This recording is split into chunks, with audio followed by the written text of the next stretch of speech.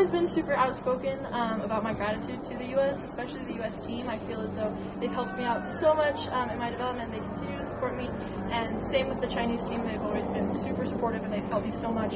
Um, and so, in that sense, uh, I think that that speaks volumes to the ability of sport to bridge the gap